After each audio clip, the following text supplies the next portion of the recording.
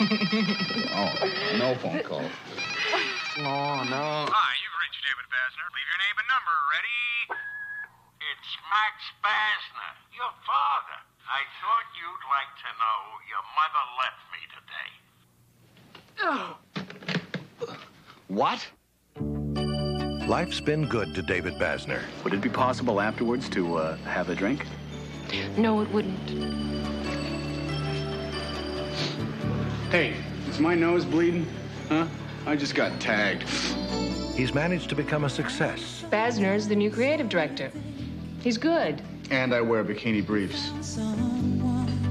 without becoming an adult. You're just, um. Oh, childish, immature, and selfish? That's right, I am. Do you know how much money I make for thinking this way? It is economically unsound to grow up. You're right. But what happens when a guy who never grew up So, mom left. Do you see anyone else here? has to adopt his parents? Mom, why don't you put on your shoes and come out of the cage? Put it back. Put it back. Shame on you. I was going to get rich and move into a luxurious mansion, and my parents were going to come visit me once. And they were going to say, Oh, what a nice mansion. We love you, David. And I was going to say, I love you too, Mom and Dad. Then they were going to go away and die. I know you hate me. But you have to help me.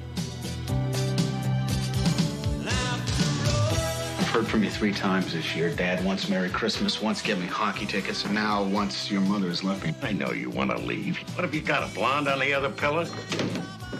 Seduced and abandoned. Look closely, girls. This is what you want to avoid later in life.